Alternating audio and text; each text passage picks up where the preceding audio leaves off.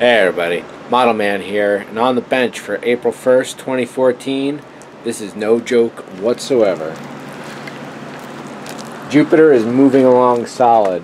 What, wait, where's the Jupiter?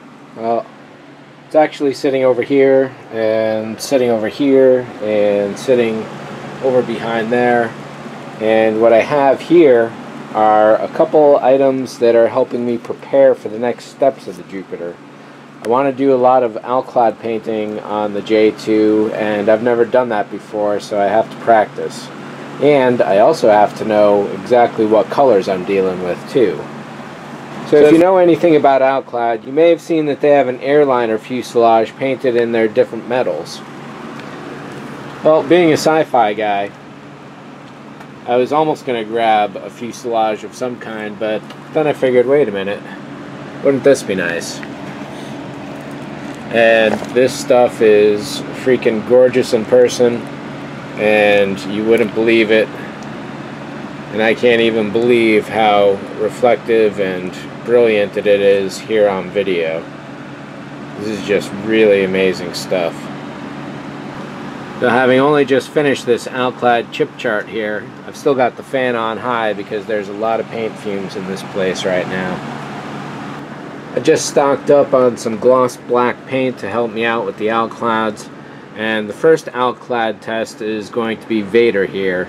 He's got some gloss for the leather but I'm going to have to tone that back a little later. What I have to do now is mask off his uh, leather, just leave all the metal and then I'm going to go with a combination of two different colors here and Vader is relevant to the J2 because he's a test bed, not only for the Alclads, but also for using uh, contact pads in his feet for the power. That was my idea for the J2 initially, and I figured I may as well try and throw this figure together and see how that works. Having painted this Alclad chart, I really want to do some more in a slightly more heavy-duty kind of manner than just a couple spots on him. So, I got a pair of 3POs. I'm just going to slap them together, put three fiber optics in each eye leading to a single LED in the body. If it gets any basic seam work, I'll be surprised. Uh, I just want to get some paint on them and see how they look. So I'm going to break those out in the immediate future. In addition to some black spray paint, I also stocked up on some uh, dark ghost gray for the stairs and a little sand. I've been calling this 1735 in a lot of the videos recently for the Jupiter. It's really 1706 that I wanted. And here's a little innovation. I had to sacrifice one bottle so I chose aluminum as it's the most common. But the idea is you drill a hole in the cap glue it into your larger uh, spray bottle. If Maybe if you use a cup, then this won't matter to you. I sealed this off with Ava's epoxy. Now, just cleaning the straw, I can go into any single bottle here and have the color I need immediately without having to pour it into anything else. It's a really convenient time saver. I've done it for my Model Master and for Testors paint lids, and uh, you can't go wrong. I definitely recommend it.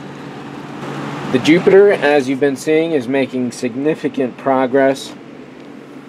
I'm about to get back into sequencers. Right now, as you're seeing, I'm working on the lower hull for that guy. And I'm going to be making a whole bunch of custom little stuff immediately. So there's a whole lot of stuff going on and it's really great to be active like this. And oh, the charity auction. Let me mention that real quick. Hey everybody, Model Man here, and it's March 31st, and I'm just getting through uh, the initial stages of the charity auction. Yesterday, Saturday, I received four more models from round two. I set them for a one-day auction, and they've already gone off uh, just about an hour ago, I think, and then there was a pause for a little while. Power supplies, the books are now for sale. Uh, we're coming up on the posters, and then we're into plastic for a little while. Then there'll be about an hour's lull and the rest of the auction will go off. So there's been some really nice bidding. I think uh, the most expensive thing is 26 bucks. There's a couple of those. And so, sitting at the halfway mark, there's another hour until the uh, next round of models goes off, and I think there's like 15 of those at least. Actually, there's, yeah, 15 items, 14 have bids, 36 bidders for 165 bucks so far. Everything that has sold so far, 15 items, 15 items sold, 228 bucks. 53 bucks in, 175 still outstanding so far. $394 in total. If the bids on the last 15 items go up a little, we're going to break 400 bucks. Nice. Hey, and just an hour or so later, $436.01 to five different charities. I'll have the totals over the next few days, and I'll do a special video for that as always. And, uh, yeah. So as soon as everyone's paid up, I can pay off all the donations. And all right, so that was 39 items, $436. Really nice. Thanks a lot, everybody. Uh, the power supplies didn't sell. I think there were five boxes of those. The box of wire didn't sell. Uh, Shatner's Star Trek Memories didn't get any love. The GTO Pontiac 64 didn't sell either. And one of the Star Trek Blue Tin posters didn't sell. But everything else, as you can see, I've already got a lot of stuff boxed up. I got to go and buy some custom boxes for a few of the other people tomorrow. And uh, yeah, I've already got a bunch of stuff shipped. I've got other stuff waiting to be shipped, and this stuff is just waiting to be paid for. And so with that, thanks to everybody for bidding. That was a really good auction. I was looking at the uh, previous uh, ones over the last five years. It turns out this was number six.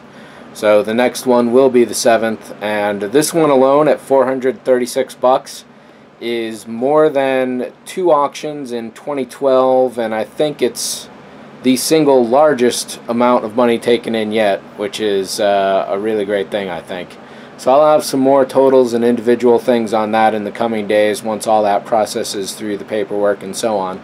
And uh, yeah, this is already all that's left to ship is uh, six or seven boxes really.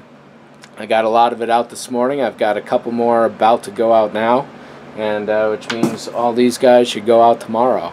So thanks again, and watch for some more good model stuff coming up soon with Vader, 3PO, and the Jupiter 2. Star Trek fans, I have the most amazing breaking news that is going to completely rewrite the history of the 11-foot studio model of the 1701 Enterprise.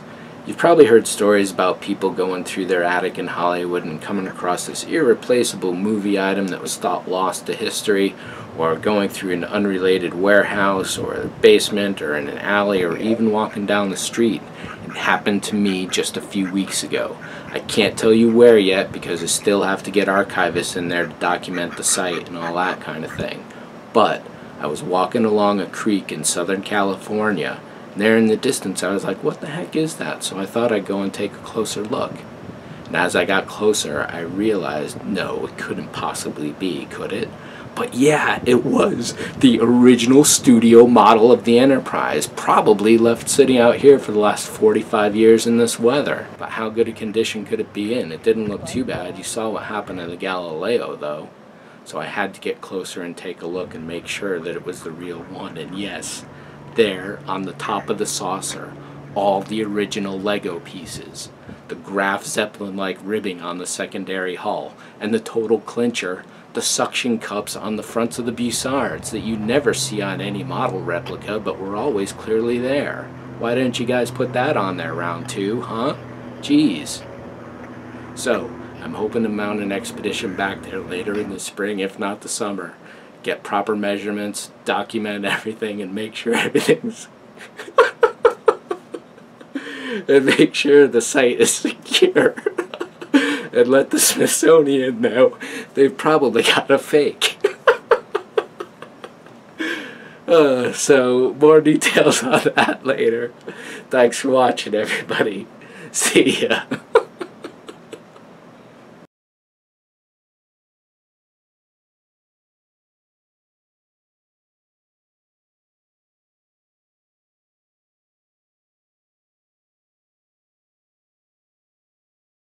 And here are a few YouTube channels that might interest you. As always, the Scale Model Addict. Scott Vervan brings you his own work and the Scale Model Addict Forum and Scale Model Addict Magazine. Dr. Faust's The Painting Clinic. Check out Tony for miniatures and model painting. What time is it? It's cranky time. With his lab rat Ori assistant Igor, Dr. Cranky brings you the best in rats, rods, and rust. Steve Neal's Garage with Rosie the Wonder Dog, Mary, and Xena, featuring feature film props, restorations, and scale model artistry. Scott Alexander of Atomic City Models, specializing in 2001 A Space Odyssey model recreations and a few other notable genre pieces as well. Braddock 001, whether a one-to-one scale Borg sleep station, droids of any make or model, or even popular superhero armor or any kind of sculpture, look to Brad Carpenter to bring it and for the trials, tribulations, and tales of my car Red 2 and its droid lemons, check in on Gears McTinkerson. Bad Grendels for fine model work, timer chips, and electronics knowledge. The Model Man Tom channel would like to thank the following for their sponsorship. Eliot Brown of Kingston Vacuum Works, featuring Fedoratron.com and WarmPlastic.com. Lighting for extraordinary modelers, and vacuum forming tables for designers, modelers, and engineers. Kingston Vacuum Works covers it all. Paul at thefiberopticstore.com, now presenting the beta version of its new site, thefiberopticprojects.com, for an exceptional selection and great prices of fiber optics of all sizes and quantities, thefiberopticstore.com. Carpenter Creations.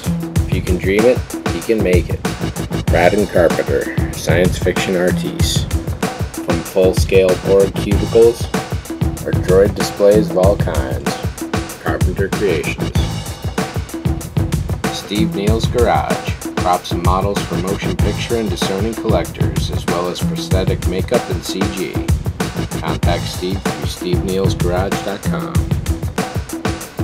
Model reviews from Round 2 Models, AMT, MPC, Polar Lights, and Lindbergh. Scale Model Addict magazine. Issue 3 now available. Issue number 4 is in the works. The Orbital Defense Engineering Commission, a 2001 A Space Odyssey specific forum for scale model kits, reviews, news, and discussion.